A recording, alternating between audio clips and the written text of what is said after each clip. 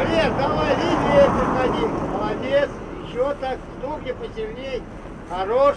На данный момент это уже остаточные работы по уборке с крыш домов снега и наледи. В этом году зима непредсказуема. Сильные снегопады, колебания температуры способствуют образованию сосулек на крышах сооружений, которые необходимо счищать. Работники организации ЖЭК «Энергетик» города Конакова каждый год очищают крыши от снега и наледи до наступления оттепели, но не в сильные морозы. У нас закрепленные дома за каждым техником, смотрителем, которые утром своевременно обходят дома и по необходимости дают заявки на выполнение данных работ. Заявки тут же передаются работникам соответствующим, которые имеют допуск на право работы ведении организации 46 домов. Их обслуживает 4 техника и 10 работников ремонтной группы. Каждый день техники осматривают дома, после их заключения рабочая группа приступает к работе. Уборка наледи, снега и сосулек – опасное занятие. В распоряжении ремонтников весь необходимый инвентарь. Предохранительные пояса, страховочные веревки, нескользящая обувь. Бригады полностью подготовлены, чтобы обеспечить безопасность горожанам возле домов.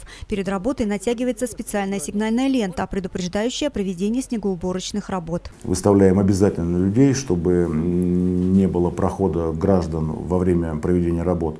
И по необходимости, если есть какие-то завалы с крыш на тротуар, мы их тут же убираем, устраняем, чтобы и посыпаем песком, если есть скользкость в данный момент. Казалось бы, все хорошо. Снег убирается вовремя, но не везде. Работники организации сталкиваются с определенными проблемами, которые препятствуют их работе. Люди ставят очень близко автомобили бесхозно, и мы не можем их сдвинуть, автомобиль, соответственно, это частная собственность, повредить мы тоже не имеем права его. И получается коллизия, что нам нужно убрать снег или налить, стоит машина, повредить ее нельзя, и снег оставить нельзя. И вот мы ищем этих людей очень долго и упорно. Хорошо, если он на этом доме живет, а если это приехал гость, бросил и ушел. Вот такие моменты имеют место быть. Уборка снега, наледи и сосулек с крыш ведется практически при любых погодных условиях, за исключением погоды с сильными порывами ветра и сильный мороз. После окончания работ на крыше сброшенный и попавший на тротуары или проезжую часть снег сдвигается в сторону и собирается в сугробы.